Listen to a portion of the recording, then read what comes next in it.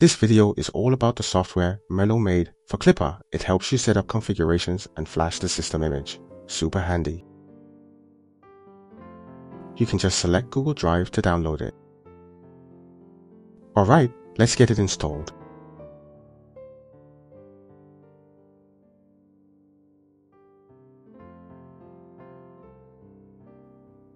First, go to the top left corner and set the language to English.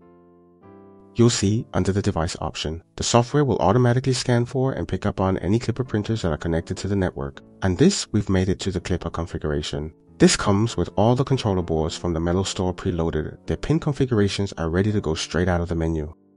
This is the menu to select your corresponding printer model. Further here, you can configure things like the printing speed.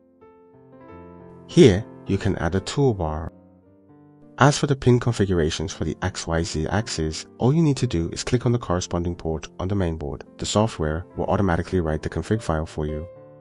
For the gear ratio, enter the value that match your printer. The motor direction label is missing its English translation. No matter what drivers you're using 2 to 09, 5160, even closed loop steppers you've got options here. You can set it all up right in this menu. This area is for setting up XY axis end stop. The heating controls for the hot end and the heated bed are right here.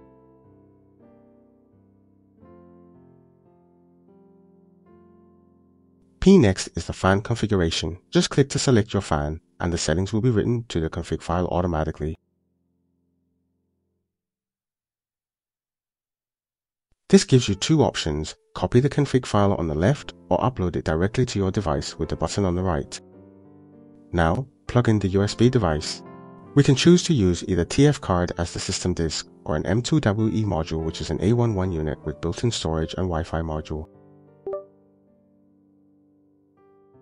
This section includes it provides both local and online system images for you to choose from and all the system images for the main controllers available in the Mellow store. Click the Enable button to activate the system configuration. Enter your Wi-Fi info here. Mellow UI is still in development. For now, it only supports Fluidd and Mainsail. Finally, we have the most commonly used display options. Just like before, this supports all the screens available in the Mellow store. Now, flash the system image. Let's check if the system was flashed successfully. Let's plug this into the board and see if it starts up.